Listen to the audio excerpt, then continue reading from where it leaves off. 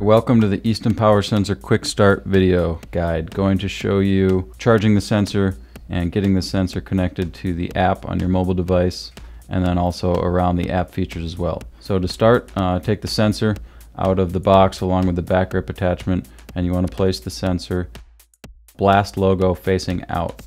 Insert it into the grip attachment and then that'll attach to the end of the bat. To charge, you can invert the grip attachment and just place directly on the charger like that. Give it 30 minutes at least to get a minimum charge and then an hour to an hour and a half for a full charge which will last about 8 hours. Once you have the sensor charged, you're going to launch the Easton Power Sensor app which you can get from the App Store. To sign up for a new account, we're going to go in and enter our name, email, and password. Zip code and gender will be optional. So once you get logged in, we'll need to add a new bat.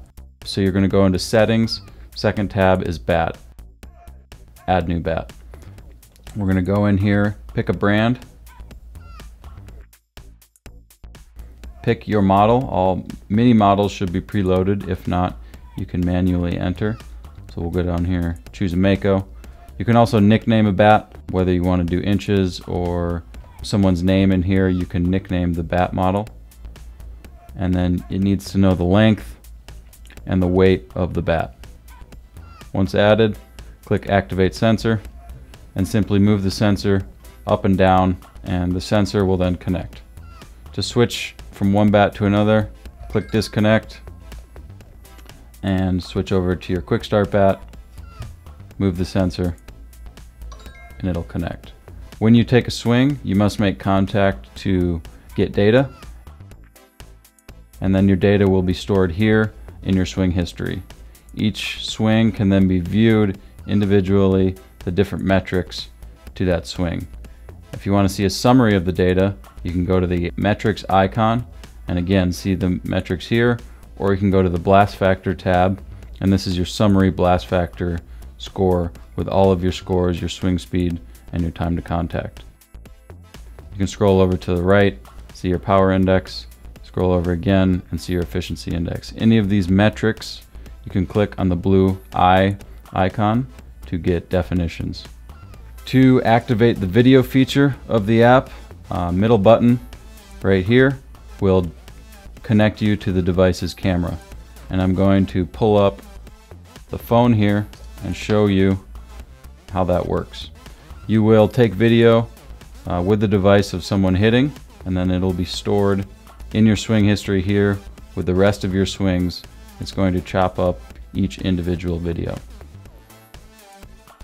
So we can select the video and then as you can see on the top each metric is linked to the video and you can also play it at real speed.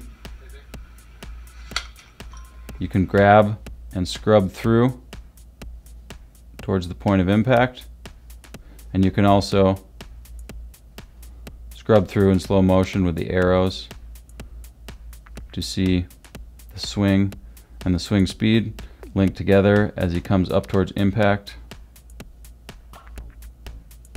which is indicated here at the top as well.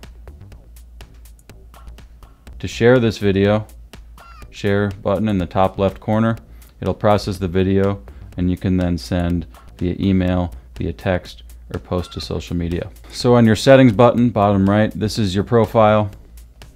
This is where you'll manage all of your bats. You can add as many bats as you'd like here and switch between.